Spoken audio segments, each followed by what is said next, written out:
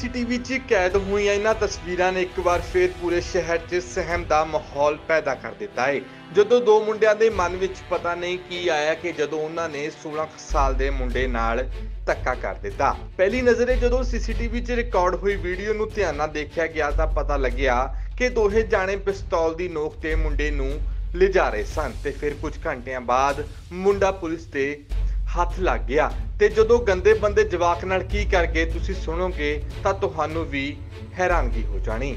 ਜੰਡਪੀਰ colony ਚ ਰਹਿੰਦੇ 8 number ਗਲੀ ਤੇ ਇਹ ਦੋਵੇਂ ਜਾਣੇ ਬੰਬੀ ਤੇ ਨਹਾਣ ਗਏ ਸੀ। ਇਹ ਸੀ ਇੱਕ ਇਹਦਾ ਦੋਸਤ ਸੀਗਾ। ਨਾ ਤੇ ਇਹਦਾ ਨਾਮ ਨਿਖਿਲ ਹੈ ਤੇ ਇਹਨੂੰ ਦੋ ਜਾਣੇ ਅਣਪਛਾਤੇ ਮੁੰਡੇ ਆਏ ਨੇ। ਤੇ ਉਹਨਾਂ ਨੇ ਕੀ ਕੀਤਾ? ਦੋ ਪਿਸਟਲਾਂ ਕੱਢੀਆਂ ਇੱਕ ਮੁੰਡੇ ਨੇ ਇਹਦੀ ਧੌਣ ਤੇ ਰੱਖੀ ਆ ਤੇ ਇੱਕ ਨੇ ਇਹਦੀ ਵੱਖੀ 'ਚ ਰੱਖੀ ਆ ਤੇ ਇਹਨਾਂ ਨੂੰ ਕੁੱਟਦਿਆਂ ਨਾਲ ਲੈ ਗਏ ਆ।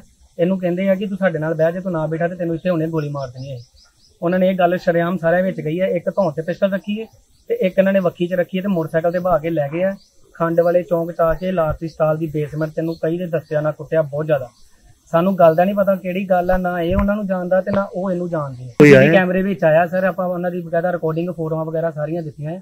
ਉਹ ਆ ਤੁਸੀਂ ਦੇਖ ਲਿਓ ਤੁਹਾਨੂੰ ਦਿਖਾ ਦਿੱਤੀਆਂ ਨੇ ਕੀ ਮੰਗ ਕਰਦੇ ਜੋ ਪ੍ਰਸ਼ਾਸਨ ਮੰਗ? ਸਰ ਆਪਾਂ ਕਰਦੇ ਆ ਕਿ ਇਹਨਾਂ ਨਾਲ ਇਨਸਾਫ ਹੋਵੇ ਤੇ ਜਿਹੜੇ ਅਣਪਛਾਤੇ ਹਥਿਆਰ ਲੈ ਕੇ ਸ਼ਰਾਮ ਘੁੰਮਦੇ ਇਹਨਾਂ ਨੂੰ ਕੜੀ ਤੋਂ ਕੜੀ ਸਜ਼ਾ ਦਿੱਤੀ ਜਾਵੇ ਦੂਸਰੇ ਪਾਸੇ ਪੁਲਿਸ ਅਧਿਕਾਰੀਆਂ ਵੱਲੋਂ ਵੀਡੀਓ ਦੇ ਆਧਾਰ ਤੇ ਤਫਤੀਸ਼ ਦਾ ਦਾਅਵਾ ਕੀਤਾ ਗਿਆ ਹੈ ਇਹ ਮੁੰਡਾ ਨਿਖਲ ਕੁਮਾਰ ਪੁੰਜ, ਉਮਰ ਦੀ 19 ਸਾਲ ਆ। ਇਹ ਕਹਿੰਦਾ ਵੀ ਅਕਸਰ ਅਸੀਂ ਇੱਥੇ ਬੰਬੀ ਤੇ ਨਹਾਉਣ ਆਉਂਦੇ ਮੁੰਡਿਆਂ ਦੇ ਨਾਲ। ਅੱਜ ਵੀ ਮੈਂ ਨਹਾਉਣ ਵਾਸਤੇ ਆਇਆ ਸੀਗਾ ਤੇ ਬੰਬੀ ਖਰਾਬ ਹੋਣ ਕਰਕੇ ਇੱਥੇ ਗੁਰਦੁਆਰਾ ਬਾਬਾ ਵਿਧੀ ਚੰਦ ਜੀ ਦਾ ਤੇ ਉੱਥੇ ਬਹਿ ਗਏ ਆਪਣਾ ਬਰਾਂਡੇ 'ਚ ਕਹਿੰਦਾ ਇੰਨੇ ਚਿਰ ਦੋ ਮੁੰਡੇ ਆਏ, ਮੋਨੇ ਨੌਜਵਾਨ, ਮੋਟਰਸਾਈਕਲ ਸਵਾਰ ਤੇ ਉਹ ਮੈਨੂੰ ਉੱਥੋਂ ਨਾਲ ਬਿਠਾ ਕੇ ਲੈ ਗਏ। ਤੇ ਪਿਸਤੌਲ ਮੈਨੂੰ ਜਿਹੜਾ ਲਾ ਕੇ ਮੇਰੀ ਕੰਨ ਫਟੀ ਦੇ ਤੇ ਮੈਨੂੰ ਅਗਵਾ ਕਰ ਲਿਆ ਇਹਨਾਂ ਨੇ। ਇਸ ਤੋਂ ਬਾਅਦ ਖੰਡ ਵਾਲੇ ਲੈ ਗਏ ਉੱਥੇ ਜਾ ਕੇ ਨਾ ਮਾਰਕੁੱਟ ਕੀਤੀ। ਮਾਰਕੁੱਟ ਕਰਕੇ ਮੁੜ ਕੇ ਇਹਨੂੰ ਫਰੀ ਕਰ ਛੱਡ ਦਿੱਤਾ। ਸੀਸੀਟੀਵੀ ਫੁਟੇਜ ਆਈ ਸਾਹਮਣੇ ਸਰ? ਹਾਂ ਸੀਸੀਟੀਵੀ ਫੁਟੇਜ ਆਈ ਹੈ ਤਸਦੀਕ ਕਰ ਰਹੇ ਆ। ਜੋ ਬੰਦੀ ਕਾਰਵਾਈ ਅਮਲ ਚ ਨਹੀਂ ਹੁਣ ਜਸਟ ਸਾਡੇ ਕੋ ਆਏ ਹੀ ਤਸਦੀਕ ਕਰਨ ਦੇ ਆ। ਬਾਅਦ ਤਸਦੀਕ ਜੈਸੀ ਸੂਰਤ ਹੈ ਵੈਸੀ ਕਾਰਵਾਈ ਹੋਣੀ। ਉਸ ਦਾ ਤਸਦੀਕ ਕਰਨ ਦੇ ਬਾਅਦ ਤਸਦੀਕ ਹੀ ਸਾਰੀ ਸੂਰਤ ਸਾਹਮਣੇ ਆਏਗੀ।